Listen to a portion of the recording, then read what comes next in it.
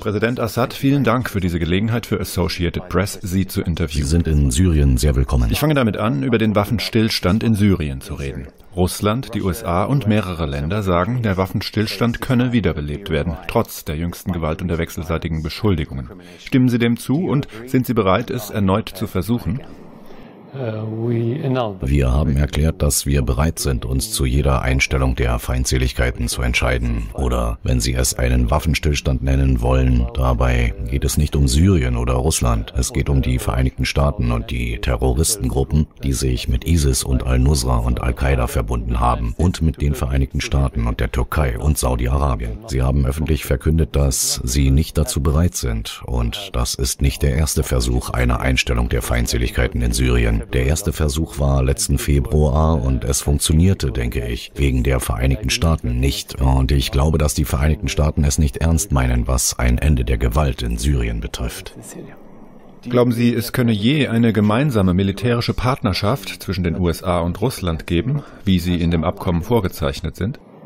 Noch einmal, im Prinzip ja, aber in Wirklichkeit nicht, weil die Vereinigten Staaten nicht die Absicht haben, gegen Al-Nusra oder selbst ISIS zu arbeiten, weil sie glauben, das sei eine Karte, die sie für ihre eigenen Ziele nutzen können. Wenn sie Al-Nusra oder ISIS angreifen, verlieren sie eine sehr wichtige Karte, die Lage in Syrien betreffend. Also, ich glaube nicht, dass die Vereinigten Staaten bereit sind, sich Russland beim Kampf gegen die Terroristen in Syrien anzuschließen.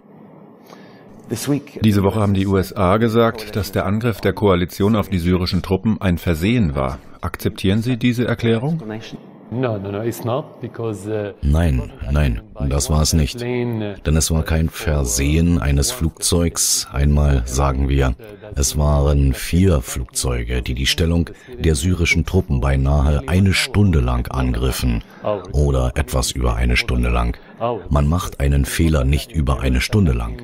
Das ist der erste Punkt. Der zweite, sie haben keine Gebäude in einem Viertel angegriffen, sie haben ein riesiges Areal angegriffen aus mehreren Hügeln und es gab dort keine Terroristen in der Nähe der syrischen Truppen. Gleichzeitig haben die Truppen von ISIS oder die ISIS-Kämpfer sofort nach dem amerikanischen Schlag angegriffen. Woher wussten sie, dass die Amerikaner diese Stellung angreifen werden, um ihre Truppen zu sammeln und gleich anzugreifen und es eine Stunde nach dem Angriff einzunehmen? Also war es definitiv absichtlich, nicht unabsichtlich, wie sie behaupten. Haben Syrien oder Russland den Angriff auf den Konvoi des Roten Kreuzes diese Woche durchgeführt und sollte Moskau zur Verantwortung gezogen werden, wie das Weiße Haus sagte? Nein, zuallererst. Es gab Dutzende Konvois von verschiedenen Organisationen aus der ganzen Welt, die in den letzten Jahren in verschiedene Gebiete Syriens kamen. Das ist nie zuvor passiert, also warum jetzt seitens der Russen oder der Syrer? Nein. Es ist eine Behauptung. Und was die Behauptung des Weißen Hauses gestern betrifft, die entweder die Syrer oder die Russen beschuldigen, in dieser Hinsicht würde ich sagen, was immer die amerikanischen Vertreter zum Konflikt in Syrien sagen, ist allgemein nicht glaubwürdig. Was immer sie sagen, es sind nur Lügen und, sagen wir Blasen, es hat keine Grundlage vor Ort. Also was ist mit dem Konvoi passiert? Wer sollte zur Verantwortung Diese gezogen werden? Konvois waren im Gebiet der Rebellen, im Gebiet unter Kontrolle der Terroristen. Warum sollten sie zuerst beschuldigt werden? Die Leute oder die Kämpfer, die Terroristen, die für die Sicherheit dieses Konvois verantwortlich sind. Also, wir haben keine Ahnung, was geschehen ist. Das Einzige, was wir sahen, war ein Video eines verbrannten Wagens, zerstörte Lastwagen, sonst nichts. Mehrere Augenzeugen haben AP gesagt, dass etwa 20 Raketen gegen den Konvoi abgefeuert wurden. Es gibt Aufnahmen zerrissener Körper. Das sieht nicht aus, als wäre es etwas anderes als ein Luftangriff.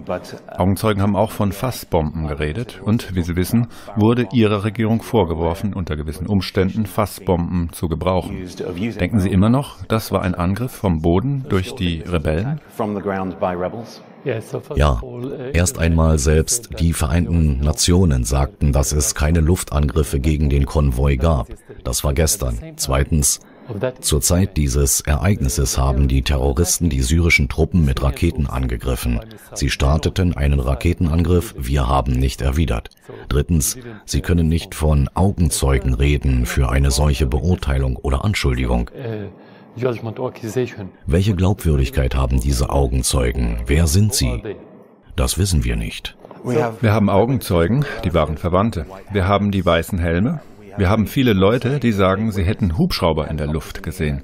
Nun haben nur die Syrer und die Russen Hubschrauber. Sagen Sie, das alles sei nur erfunden?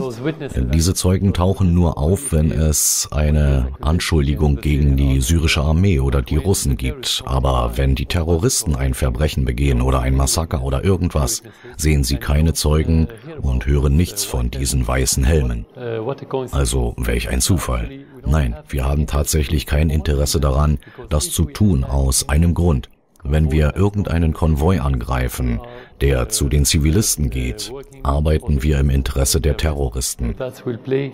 Wir treiben sie ihnen in die Arme und wir verschaffen den Terroristen ein gutes Saatbeet, etwas, was wir nicht tun würden. Das ist das Erste. Das Zweite, wir als Regierung, als Staatsführung sind moralisch dem syrischen Volk verpflichtet, moralisch durch die Verfassung und rechtlich ihnen in jeder Hinsicht zu helfen, die grundlegenden Notwendigkeiten für ihr Leben zu haben. Ihre Regierung hat geleugnet, chemische Waffen eingesetzt zu haben. Fassbomben, trotz Zeugenaussagen und Videos und dem Ergebnis einer UN-Untersuchung. Wir hören ähnliche Dementis, Luftangriffe auf Zivilisten und medizinisches Personal betreffend. Können das alles falsche Vorwürfe Ihrer Gegner sein? Zunächst einmal, der erste Vorfall eines Einsatzes von Gas war in Aleppo vor über drei Jahren und wir waren diejenigen, die die Vereinten Nationen eingeladen haben, eine Delegation zu schicken, um den Einsatz chemischer Waffen zu untersuchen. Und die Vereinigten Staaten widersprachen dem und widersetzten sich dieser Handlung aus einem Grund, weil es, hätte es Untersuchungen gegeben, entdeckt worden wäre, dass die Terroristen Gas eingesetzt haben, nicht die syrische Armee. In dieser Hinsicht, in diesem Fall wären die Vereinigten Staaten außerstande gewesen, Syrien zu beschuldigen. Darum waren sie gegen diese Delegation. Bei jedem Vorfall haben wir die Vereinten Nationen gebeten, eine Delegation zu schicken und wir bestehen noch immer auf dieser Position, dass sie Delegationen schicken müssen, um es zu untersuchen, aber die Vereinigten Staaten sind dagegen. Also wenn wir das tatsächlich eingesetzt hätten, würden wir nicht um Untersuchungen bitten. Für die internationale Gemeinschaft wirkt es, als ob keiner der Vorwürfe, keine der Anschuldigungen haften bleiben, dass alles geleugnet wird. Hier ist alles okay seitens Ihrer Regierung. Glauben Sie nicht, dass das der Glaubwürdigkeit schadet? Die Amerikaner beispielsweise haben zugegeben, dass der Angriff auf das syrische Militär ein Fehler war. Nun, Sie akzeptieren das nicht, aber alles, was die internationale Gemeinschaft von der syrischen Regierung hört, sind Dementis. Welche Frage betreffend? Zu den Anschuldigungen über Verletzungen der Menschenrechte, Fassbomben. Ah, okay. Okay. Äh, Schauen Sie, wenn Sie über Fehler reden wollen, in jedem Land gibt es Fehler. Jede Regierung hat Fehler, jeder Mensch hat Fehler. Wenn es einen Krieg gibt, gibt es mehr Fehler. Das ist natürlich. Aber die Vorwürfe Syrien betreffend haben keine Grundlage. Wenn Sie von Fassbomben reden, was sind Fassbomben? Das ist nur ein Begriff, den Sie benutzen, um etwas zu zeigen, das sehr böse ist und Menschen unterschiedslos töten kann. Und wie ich sagte, weil in den Medien das zählt, was blutet. Sie reden nicht über Bomben, sie nennen es Fassbomben. Eine Bombe ist eine Bombe. Was ist der Unterschied zwischen verschiedenen Arten von Bomben? Alle Bomben sind da, um zu töten. Es geht darum, wie sie gebraucht werden. Wenn man eine Waffe gebraucht, gebraucht man sie, um Zivilisten zu verteidigen verteidigen. Man tötet Terroristen, um Zivilisten zu verteidigen. Das ist die natürliche Rolle jeder Armee der Welt. Wenn man Terroristen hat, dann wirft man keine Ballons auf sie oder setzt Gummiknüppel ein beispielsweise. Man muss Waffen gebrauchen. Also es geht nicht darum, welche Art der Waffen, sondern wie sie genutzt werden. Und sie wollen es in dem Fall nutzen, um der syrischen Armee vorzuwerfen, Zivilisten zu töten. Wir töten keine Zivilisten, dazu haben wir keinen moralischen Antrieb. Wir haben kein Interesse daran, Zivilisten zu töten. Das sind unsere Leute, die uns unterstützen. Wenn wir das syrische Volk töten wollten, wer wird uns als Regierung, als Amtsträger unterstützen? Niemand. Also in Wirklichkeit darf man nicht fünf Jahre und mehr gegen all diese Länder widerstehen, den Westen, die Golfstaaten, die Petrodollars und all diese Propaganda, die stärksten Medienkonzerne der Welt, wenn man nicht die Unterstützung des eigenen Volkes hat. Das widerspricht der Wirklichkeit. Also nein, wir benutzen sie nicht. Ich würde nicht sagen, dass wir keine Fehler haben. Noch einmal, dass von Einzelpersonen viele Fehler begangen wurden. Aber es gibt einen Unterschied zwischen einem Fehler oder selbst einem Verbrechen, das von einer Einzelperson begangen wurde und einer Politik des Verbrechens, die von einer Regierung angenommen oder umgesetzt wird. Eine solche Politik haben wir nicht. Und doch fliehen Hunderttausende Syrer aus dem Land. Viele ertrinken auf dem Weg. Viele davon sagen, sie fliehen vor ihren Truppen. Wovor genau fliehen sie, wenn dieser Feldzug nicht existiert, dieser Feldzug der Gewalt, unterschiedslos gegen sie? Sie müssen die Realität in Syrien sehen. Wann immer wir eine Stadt oder ein Dorf von den Terroristen befreien, gehen die Zivilisten zurück in die Stadt, während sie aus der Stadt fliehen, wenn die Terroristen das Gebiet angreifen. Also das Gegenteil. Also sie fliehen zuallererst vor dem Krieg selbst. Sie fliehen aus dem Gebiet unter Kontrolle der Terroristen. Sie fliehen aus der schwierigen Situation, die durch das Embargo des Westens gegen Syrien entstanden ist. Also viele Leute fliehen nicht vor dem Krieg selbst, sondern vor den Konsequenzen des Krieges, weil sie leben wollen. Sie wollen die grundlegenden Notwendigkeiten des Lebens, sie haben sie nicht. Sie müssen aus diesen Umständen fliehen, nicht notwendigerweise vor der Sicherheitslage selbst. Also es gibt verschiedene Gründe, warum Leute oder die Flüchtlinge Syrien verlassen. Viele von ihnen haben die Regierung in den jüngsten Wahlen unterstützt, bei den Präsidentenwahlen in verschiedenen Ländern. Also es ist nicht wahr, dass sie Syrien wegen der Regierung verlassen haben und wegen dieser Vorwürfe, die besagen, die Regierung würde die Leute töten, während die Terroristen vor allem Al-Qaida und Al-Nusra und die anderen mit Al-Qaida verbündeten Organisationen oder Gruppen die Zivilisten schützten. Ist das der Vorwurf? Das kann niemand wirklich glauben. Richten wir unsere Aufmerksamkeit auf die Leute, die nicht fliehen können. Die Leute, die in Syrien in belagerten Städten sind. Aleppo beispielsweise. Zurück zum Waffenstillstandsabkommen. Es sollte Hilfe in die Stadt kommen, aber Sie haben sich nicht an Ihren Teil des Abkommens gehalten. Warum und wie können Sie rechtfertigen, den Städten Hilfe vorzuenthalten? Reden wir über die letzten Jahre.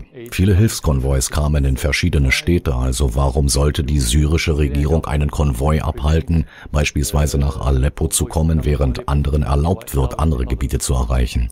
Das ist ein Widerspruch. Sie können das nicht erklären, das ist nicht begreiflich. Erstens. Zweitens, wenn Sie sich all die anderen Gebiete unter Kontrolle der Terroristen ansehen, wir schicken immer noch Impfstoffe aus dem Budget der syrischen Regierung, wir schicken immer noch die Gehälter der Beschäftigten aus dem Budget der syrischen Regierung. Also wie können wir das tun und gleichzeitig die Leute in anderen Gebieten verhungern lassen? Wichtiger noch, die Terroristen, die die befreiten Gebiete unter dem, was man Versöhnung nennt oder bestimmten Abkommen in verschiedenen Gebieten verlassen haben, sie sind gegangen, um gegen andere Terroristen in Syrien zu kämpfen und schicken währenddessen ihre Familien, um unter der Aufsicht der Regierung zu leben. Warum lassen wir diese Familien nicht verhungern? Also das widerspricht sich. Ich meine, das, was Sie sagen, widerspricht der Realität und wir widersprechen uns nicht selbst. Aber die Welt hat die Wirklichkeit von Aleppo gesehen. Es gab UN-Hilfskonvois, die nicht in die Stadt gelassen wurden. Leugnen Sie, dass das der Fall war? Die Situation ist so schon seit Jahren. Wenn es wirklich eine Belagerung rund um die Stadt Aleppo gäbe, wären die Leute jetzt bereits tot. Erstens. Zweitens und wichtiger, sie haben die benachbarten Gebiete und die Stellungen der syrischen Armee seit Jahren beschossen. Ununterbrochener Beschuss aus Mörsern und verschiedenen Arten tödlicher Bomben. Wie könnten sie verhungern und gleichzeitig Munition haben? Wie können wir verhindern, dass Nahrung und medizinische Hilfe die Gegend erreicht und Munitions- und Waffenlieferungen nicht daran hindern, in das Gebiet zu kommen, was nicht logisch ist? Also was ist Ihre Botschaft an die Menschen von Aleppo, die das Gegenteil sagen, dass sie hungern, dass sie an Unterernährung leiden, dass es keine Ärzte gibt, dass Ärzte bei Luftangriffen zum Ziel genommen und getötet wurden, dass sie belagert sind und dass sie sterben? Was ist Ihre Botschaft an sie? Sie können nicht sagen, die Menschen von Aleppo, denn die Mehrheit der Menschen von Aleppo lebt in dem Gebiet unter Kontrolle der Regierung. Also können Sie nicht von den Menschen von Aleppo reden. Wenn Sie über jemand reden wollen, der angeblich so etwas behauptet, sagen wir Ihnen, wie können Sie noch am Leben sein? Warum haben Sie beispielsweise keine Epidemie, wenn Sie keine Ärzte haben? Wie können Sie sagen, dass Sie angegriffen wurden? Sie werfen Syrien vor, Krankenhäuser anzugreifen. Also Sie haben Krankenhäuser und Ärzte und alles. Wie können Sie sie haben? Wie können Sie Bewaffnung haben? Das ist die Frage. Wie können Sie Bewaffnung zu Ihren Leuten bringen, wenn Sie behaupten, Sie hätten Leute und Graswurzeln und keine Nahrung? Das müssen Sie erklären. Ich muss das nicht erklären. Die Wirklichkeit zeigt es. Und dennoch sagen sie das Gegenteil. Sie sagen, sie überleben von was immer sie können, mit wenigen Mitteln und sie sind eine Stadt unter Belagerung. Sie akzeptieren nicht, dass Aleppo eine belagerte Stadt ist, mit hungrigen und verhungernden Menschen? Noch einmal, wie könnte ich die Nahrung aufhalten, aber nicht die Waffen? Logisch gefragt, wie? Wenn ich die Nahrung aufhalten kann, sollte ich imstande sein, die Waffen aufzuhalten. Wenn ich die Waffen nicht aufhalten kann, heißt das, alles andere kommt nach Aleppo hinein. Waren Sie jüngst in Aleppo? Werden Sie dorthin gehen? Ja, natürlich werde Und ich. Wie fühlt es sich an, die Zerstörung in jenen Teilen zu sehen, die mal als Juwel Syriens bekannt waren? Nun, die Zerstörung ist natürlich schmerzhaft, aber wir können unser Land wieder aufbauen. Wir werden das tun. Eines Tages wird der Krieg aufhören. Das Schmerzhafteste ist die Zerstörung der Gesellschaft, das Töten, das Blutvergießen, etwas, mit dem wir jede Stunde, jeden Tag leben. Aber was sollte ich denken? Ich denke, wenn ich diese Bilder sehe, wie fühlen sich die westlichen Vertreter, wenn sie all diese Zerstörung ansehen und die Bilder der Getöteten und sie wissen, dass ihre Hände mit ihrem Blut befleckt sind, dass sie direkt dieses Verbrechen begangen haben, diese Leute zu töten und unsere Zivilisation zu zerstören. Daran denke ich. Und doch sieht es für die Außenwelt aus, als würde das Ziel bei ihrem Krieg gegen den Terror jedes Mittel rechtfertigen. Akzeptieren Sie das? Sie haben natürlich keine Moral. Das ist ein machiavellisches Prinzip. Das Ziel rechtfertigt die Mittel. Das akzeptieren wir nicht. Nein, die Politik sollte eine Mischung aus den Interessen und der Art, wie man die Ziele erreicht, sein, aber auf Werten beruhend. Es kann nicht sein, dass das Ziel die Mittel rechtfertigt, denn für Kriminelle rechtfertigt das Ziel die Mittel, für Diebe, für jede illegale und unmoralische Handlung rechtfertigt das Ziel die Mittel. Das ist genau das, was Sie in Ihrer Frage erwähnt haben. Das ist die Grundlage, das Fundament der westlichen Politik auf der Welt heutzutage. Was ist Ihre Botschaft an die Syrer, die aus dem Land geflohen sind? Einige von ihnen haben es nicht geschafft, andere wohl. Rufen Sie sie auf, zurückzukommen? Erwarten Sie, dass sie zurückkommen? Ja, natürlich. Es ist ein Verlust, es ist ein großer Verlust. Der schlimmste Verlust für jedes Land ist nicht die Infrastruktur oder die Gebäude oder der materielle Verlust. Tatsächlich ist es der Verlust an menschlichen Ressourcen, etwas, was wir zurück nach Syrien kommen sehen wollen, und ich bin sicher, dass die Mehrheit jener Syrier, die Syrien verlassen haben, zurückkommen wird, wenn die Sicherheit und das Leben wieder normal werden und die mindesten Voraussetzungen fürs Leben für sie bezahlbar sind, sie werden zurückkommen. Darüber mache ich mir keine Sorgen. Haben Sie irgendwelche Erwartungen, wann das geschehen wird? Wann Syrien in gewissem Maß befriedet sein wird, dass Sie zurückkommen können? Wenn wir das nach internen syrischen Faktoren betrachten, würde ich sagen, schon sehr bald, in ein paar Monaten. Und ich bin mir dessen sicher, ich übertreibe nicht, aber wenn Sie darüber als Teil eines globalen und regionalen Konflikts reden, in dem es viele externe Faktoren gibt, die Sie nicht kontrollieren, dann wird es sich hinziehen. Und niemand auf der Welt kann sagen, wann, außer den Ländern, den Regierungen, den Staatsmännern, die direkt die Terroristen unterstützen. Nur Sie wissen das, denn nur Sie wissen, wann Sie aufhören, die Terroristen zu unterstützen. Und das ist, wann die Lage in Syrien ohne wirkliche Hindernisse gelöst werden wird. Bleiben wir eine Zeit lang bei diesem Punkt. Glauben Sie, dass in wenigen Monaten die Lage in Syrien zu Ihren Gunsten dramatisch verändert wird, bis zu dem Punkt, dass die Flüchtlinge zurückkommen können? Nein, weil ich nicht glaube, dass in wenigen Monaten Erdogan und das Regime der Vereinigten Staaten und die westlichen Regimes insgesamt und natürlich Saudi-Arabien und Katar aufhören werden, die Terroristen zu unterstützen. Das sehe ich nicht in den nächsten zwei Monaten. Wie können Sie also die Syrer dazu bringen, in zwei Monaten zurückzukommen, wie Sie sagten? Ich sagte, wenn es keine externen Faktoren gäbe. Ich sagte, wenn Sie es als isolierten Fall betrachten, als syrischen Fall, was theoretisch ist, ich meine, dann könnte man sagen, das ist in ein paar Monaten zu lösen. Aber jetzt reden Sie über einen Schauplatz, der Teil der internationalen und regionalen Arena ist, nicht isoliert. Also darum habe ich gesagt, niemand weiß die Antwort, wann es enden wird. Es ist jetzt ein Jahr her, dass Russland in den Krieg eingestiegen ist. Vor der Intervention haben sie Gebiet und Kontrolle verloren. Hatten Sie je das Gefühl, dass Sie den Krieg verlieren? So betrachten wir das nicht, den Krieg zu verlieren, denn wann immer Syrer mit den Terroristen arbeiten, ist es ein Verlust. Den Krieg verlieren das ist eine hypothetische Frage, offen gesagt. Es geht nicht um ihre Gefühle, es geht um die Wirklichkeit. Im Krieg verliert man Gebiete, aber man holt andere zurück. Also ist es schwer zu sagen, ob man gewinnt oder verliert oder ob es ein Stillstand ist. Niemand hat die Antwort. Aber definitiv, nach der russischen Intervention und Unterstützung der syrischen Armee, legal natürlich, fühlten wir uns viel besser. Wir haben viele Städte eingenommen, viele wichtige Stellungen auf Kosten der Gebiete der Terroristen. Selbst wenn Sie den Krieg gewinnen sollten, was wäre von Ihrem Land und der syrischen Gesellschaft übrig? Müssten Sie wieder an die Aussicht einer Teilung Syriens denken?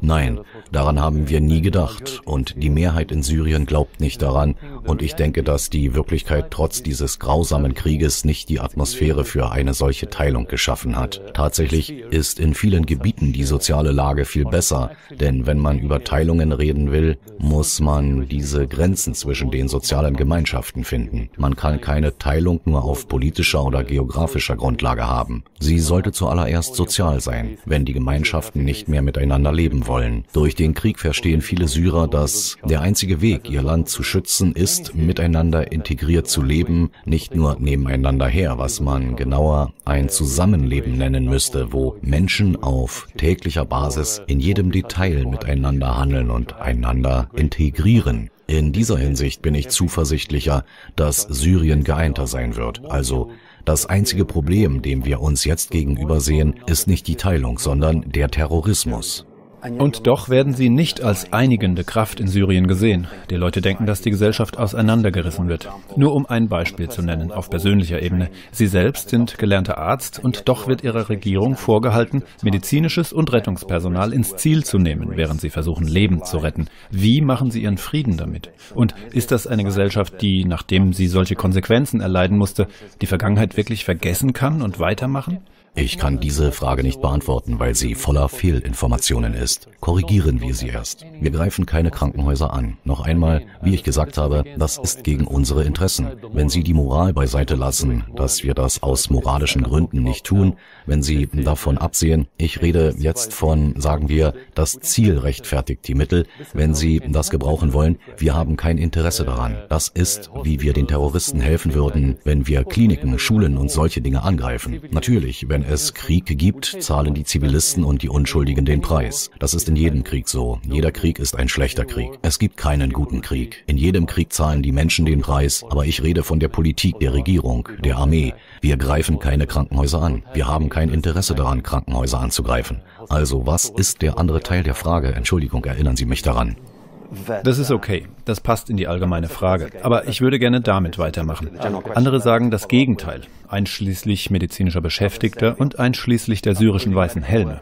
Wenn sie ihre Arbeit schätzen, die an die Stelle eilen, was immer es sein mag, um zu versuchen, Leben zu retten, heißt das, sie würden die jüngst erfolgte Nominierung der weißen Helme für einen Friedensnobelpreis unterstützen?